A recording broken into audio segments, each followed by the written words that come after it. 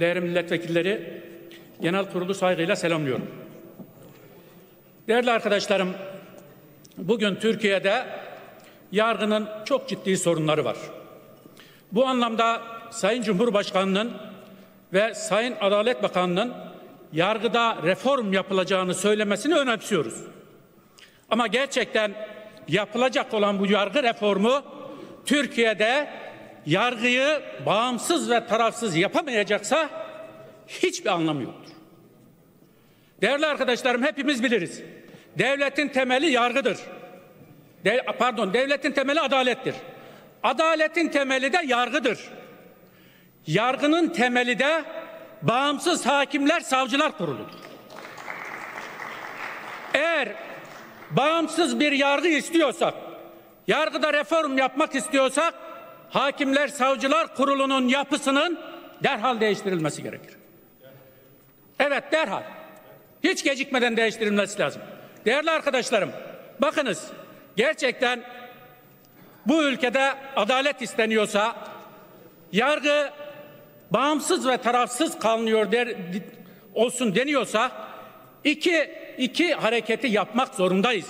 Bir, evet biz gerçekten adalet isteyeceğiz.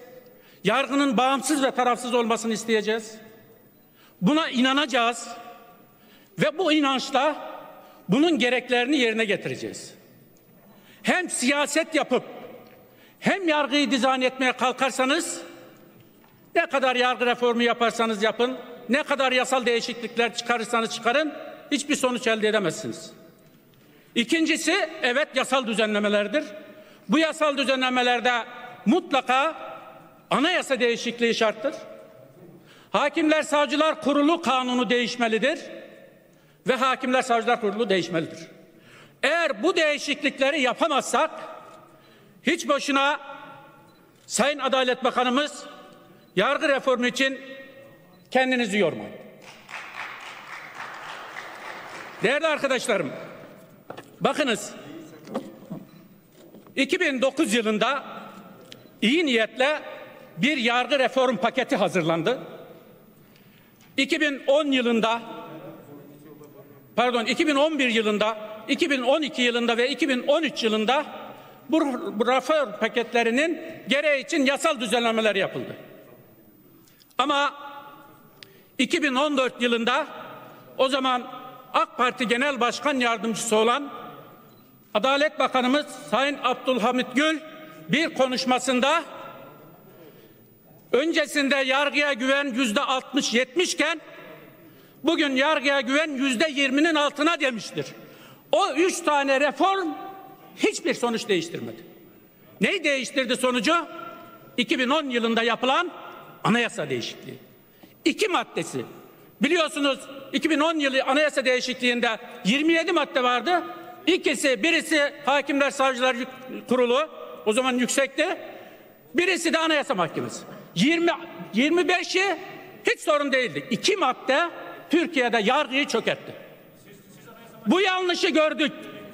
Bu yanlışı görüldü. İptal edilmese de çok daha farklı oldu. 2014'ü de alırdı HSK merak etmeyin. Bu yanlışı gördük. Hepiniz gördünüz. Bu kez 2017'de tekrar anayasa değiştirdik. O zaman belli cemaatlere, gruplara teslim edilen yargıyı bu sefer yürütmeye teslim ettik. Ne değişti?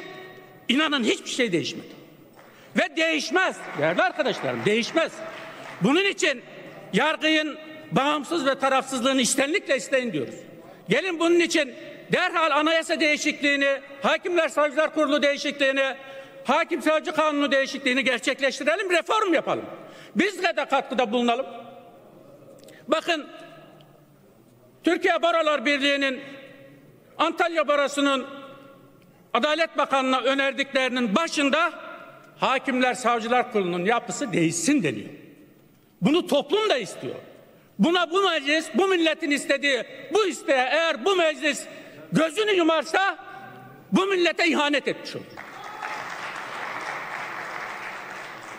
Bunun için arkadaşlar biz Kaboğlu hocamız geniş bir çalışma yaptı. Bütün kesimlerle görüştü.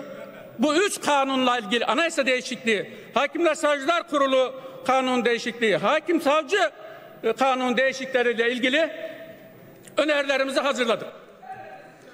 Tamamlayın sözlerinizi. Teşekkür ederim Sayın Başkan. Elbette sizin de önerileriniz olacak. Başka siyasi partilerin de olacak. Gelin, gelin samimiyseniz bütün bu önerileri toplayalım. Bir komisyon kuralım. Bu milletin yargısını millete teslim edelim diyorum. Hepinizi saygıyla selamlıyorum.